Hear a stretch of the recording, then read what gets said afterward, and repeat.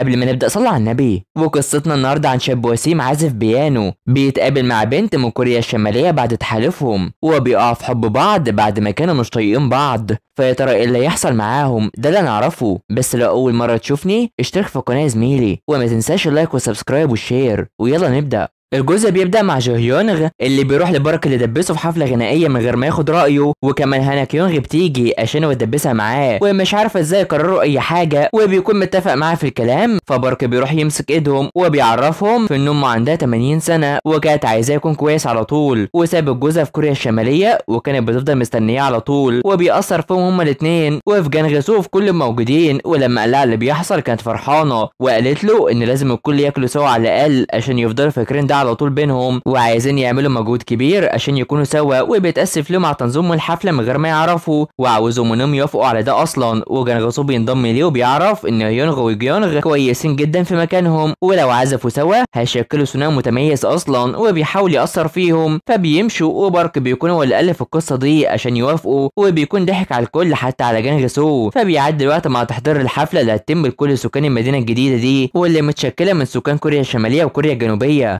وجنغسو وبارك بيتعاونوا سوا كمان وبيروحوا يحضروا اللحمة في المكان وبيشوا بشكل كويس هما الاتنين. ومبسوطين ومستغربين إن لسه مفيش أي حد وصل أصلا وعلشان كده بيكونوا مستنيين الناس لما يجوا من ريحة اللحم. ومن هنا كيم جو هي بتيجي وبترحب بيهم وبتكون بتصور وبتقرر تشارك كل مقاطعها دي بعد سنة. علشان المفروض ما تشاركش أي حاجة حاليا أصلا وبتروح تصور تعامل هيونغ وكيونغ سوا. وإنها مش طايقاه وعايزاه يسكت بس هنا الكل بيبدأ يجي من سكان القرية عشان ياكلوا سوا. وبيكونوا مبسوطين بالتجمع اللي بيحصل ده وبيرحبوا بعض كلهم. وحرفيا الطعام بيكون هو اللي جمع الأشخاص من كل البلاد وبيبدأوا إنهم ياكلوا والزوجان دول بيغنوا وبيعملوا عرض كويس هما الاتنين. وبيسقفوا اليوم أصلا وبيفرحوا بالعرض بتاعهم ده واللي بيكونوا من الشمال. وبيقرروا إنهم يدرسوا بشكل كويس ويخلفوا بعد ست شهور. ومن هنا بيبدأوا يعرفوا نفسهم واللي بيكون الدكتور جين سانغ. وده خاص بالطب الباطني والدكتور بارك تامسو ودي شغالة معاه في العيادة. وهنا كيونغ بتعرف نفسها كمان إنها شغالة في البحوث الزراعية. ونام اللي كان مقاتل وكيم جوهي اللي منشئة محتوى وفنانة webtoon ولسه عزباء وبتلمح لنام. وكل واحد بيعرف نفسه فيهم واللي بيكون اسمه هان بس مستغربين إن جايونغ مش موجود أصلا وشايفين في انه أكيد موجود في مكان. فبيروحوا يشربوا سوا وبارك بيشرب مشروب خاص بكوريا الشمالية. واللي بيعجب جدا بيه ومبسوطين بالتوحيد اللي حصل بين الشمال والجنوب أصلا. فهنا يونغ بيكون بيحضر نفسه وكلهم عايزين يكون موجود عشان العرض هيبدأ قريب. فبارك بيقرر يروح يشوفه وبيلاقيه قاعد وهو متحضر وشايف إنه وسيم بس بيعرفوا إنه مش هيعرف يعزف رغم إنه وافق على العرض الخاص بيهم ومش هيعرف يعزف كده هما بيتعاملوا كده أصلا. وبالفعل بارك بيقرر إنه يظبط الموضوع. وبيترجى إنه يحاول ويعمل استثناء للحوار وعلشان كده يونغ بيوافق إنه يعمل ده ويروح يعزف مع هانا كيونغ اللي بيروح يقدموهم وبيحييهم هما الاثنين وبيعرفوا في إنه يتكيف على العزف اللي هتعمله. وبلاش تقلق من الأخطاء. ومن هنا هانا كيونغ بتبدأ العزف على الكمان واللي بتكون كويسة جدا. ومن هنا جو يونغ بيروح يعزف وبيتكيف مع العزف وبيكونوا هما الاثنين كويسين بشكل كبير وبارك بيروح يغني وبيعمل جو معاهم هما الاثنين واللي بيكملوا هو جانغسو وبيفرحوا بشكل كبير. ويونغ بيكون بيعزف بشكل أحسن من الأول. وهنا برضو وبيفضلوا يهيصوا وبيرقصوا كلهم سوا. والحفلة بتبقى أحسن بكتير بفضل هانا كيونغ وجو يونغ. وبيرقصوا كلهم سوا وبيفضلوا يعزفوا أكتر لغاية ما بيخلصوا على طول. فبيحييهم وبيمسكوا إيد بعض وهي بتستغرب إنه ماسك إيدها كده. وبيحيوا بعض هما الاثنين وفجأة النور بيقطع والظاهر انهم بقوا في مصر. بس هنا بيبدأ جرس الانذار بيحصل.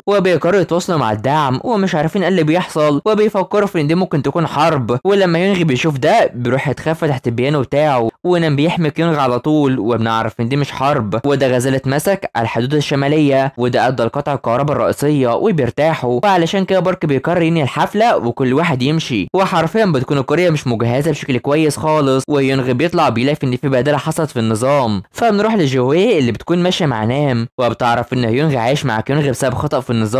وبتفكر في إنه يحصل زي دراما هبوط اضطرار للحب بس بيتضايق وهي بتلاحظ ده وعلشان كده بيروح يمشي على طول وهي بتودعه وهي مبسوطة أصلا. فبنروح ليونغ اللي بيروح بيلاقي إن كيونغ قاعدة على شمعة وبتهتم بالكمان الخاص بيها وشايف إنها مش بتعزف كهاويه وبيشكر في عزفها اللي استمرت لمدة 10 سنين فيه وعايزة تكون معاه عشان تستمر في العزف. وبتعرف إن كلامه ده بيفكرها في إنهم مقربين من بعض ولما بيشوف إنها عاملة شمعة على الطبق ده بيروحوا بيشيلها على طول عشان الطبق ده غالي جدا ومن أمريكا ولما بيتأثر بتاخده بتبرد ايده بدل ما يتأذى وعايزاه يكون كويس مع ايده وده بيأثر فيه خصوصا لما بيركز معاها أصلا وبتقرر تمشي لما النور يجي على طول. فهنا باركو وجانغسو بيفكروا في اللي حصل وإنهم راحوا شافوا السبب في العطل وإنهم رفضوا ياكلوا الحيوان اللي مات ده عشان شكلهم قدام الكوريين الجنوبيين أصلا وفرحانين إنهم عملوا ده فبيروحوا عشان ينظفوا المكان بعد الحفلة اللي حصلت وشايفين في إنهم هياخدوا وقت طويل. فبيعدي اليوم مع بارك اللي بيفوق بعد الحفلة وبيلاقي في إن جانغسو بقى العمال نايمين عنده على الأرض من كتر التعب. في حين إن جاهيونغ بيروح يحضر القهوة خاص بيه واللي بيكون حبيبها بس بيقرر يروح يدخل الحمام واللي كونغ بتكون فيه عشان هو مش قادر يستحمل ومش عارف يعمل ده خالص وعلشان كده بيقرر يروح يطلع جري على طول. وسط استغراب كل سكان القرية وفجأة بيكون راح للمكان ده وجانغسو بيخاف منه علشان هو شكله متضايق كتير وجاي لهنا بس بيجي علشان يروح الحمام على طول وعلى آخره ومش قادر خالص. فهانا كيونغ بتطلع وبتروح تشرب القهوة اللي عملها هيونغ ومبسوطة جدا بيه. في حين إن هيونغ بيطلع بيكون جه عشان كيونغ في الحمام على طول.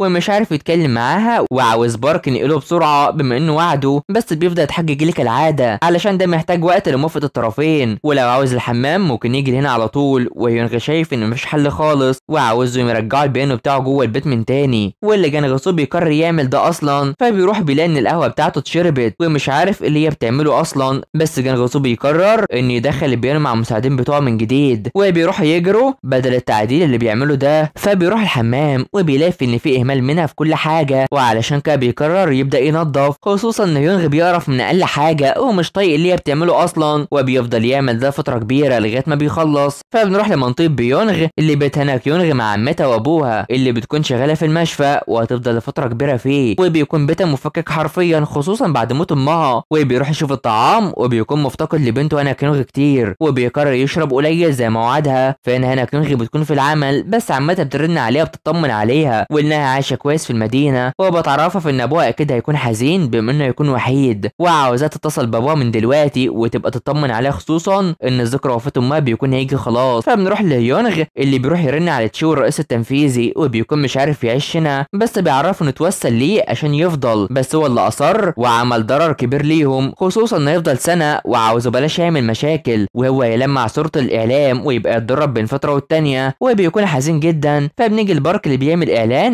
إن يحصل اجتماع الساعة 7 والكل بيجي فيه وبالفعل بيعدي الوقت وبيروح يوزع عليهم جدول الأعمال اللي هيتعاملوا عليه والمزرعة اللي هتكون بين الكوريتين ويتشاركوا كلهم في الزراعة. بس لما يونغ بيرفض عشان هو عايز بيانو بيرفضوا وجوهي بتكون شايفة في ان ده زي برنامج تلات وجبات في اليوم اللي بيعتمدوا على الزراعة والتعاون فيه وإنهم هيعملوا برنامج إعادة تدوير. والكل بيقرر نتعاون بس يونغ بيقرر ينسحب وبيمشي وده وسط الاجتماع واستغرابه الكل منه فبيطلعوا بيقرأوا الشروط اللي معاهم ونام بيكون حاسس إن في حاجة مع هانا كيونغ وشايف ان يونغ مش كويس في معاملته واكيد هي مش كويسة بس بتعرفه ان بلاش يتكلم كده على طول ويهتم بنفسه أحسن. فبنروح لسانغ ودمسومه ماشيين مع بعض وشايف ان الزراعة عندهم وظيفة الفلاحين وبيفرحوا هما الاتنين سوا وبتفضل تغني وشايف إنها جميلة وبتقرر إنها تعلم له الأغنية. فبيعدي الوقت مع تحضير العشاء لجو هيونغ واللي أول ما هنا كيونغ بتيجي بتكون مرتبك وعايزة تاكل وتشرب معاه وبالفعل بيعمل ده وبتشربه على مرة واحدة وسط استغرابه ومن هنا بيبدأ يعرفها إزاي تشربه خصوصا إن ده نبيذ غالي مش زي السوجو فبتروح تقرر تشرب وبتاكل معاه وبتعجب جدا بالطعام ده وبتفضل شايفة في إنه غريب عشان كان عايش بره على طول فبيقترح عليها إنهم يعملوا قواعد يمشوا عليها هما الاثنين بما إنهم عايشين مع بعض وبيروح يخليها بلاش تستخدم الحمام أكتر من ربع ساعة وبيفضل يقول حاجات وما شربوا أصلا ورافضه تبطل شرب